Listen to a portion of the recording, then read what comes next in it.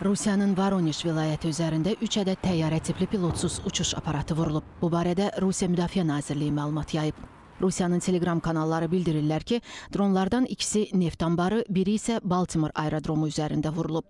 Kursk vilayətinin Jeliznagorsk şəhərində isə pilotsuz uçuş aparatı ilə iki dəfə ardıcıl olaraq dağ mədən müəssisəsinin ərazisinə hücum edilib. Bu barədə vilayətin qubernatoru Roman Starovoyt məlumat yayıb. Dronlardan biri yanacaq çəninə çırpılıb. Hadisə yerində yanğın baş verib. Belqrad vilayəti üzərində də təyyarə tipli pilotsuz uçuş aparatı vurulub. Yerli icra orqanlarının məlumatına görə xəsarət alan yoxdur. Rusiya qoşunları isə Ukraynaya şahid tipli 42 ədəd kamikadze dronu buraxıb. Ukrayna Hərbi Hava Qüvvələrinin məlumatına görə pilotsuz uçuş aparatlarından 38-i məhv edilib.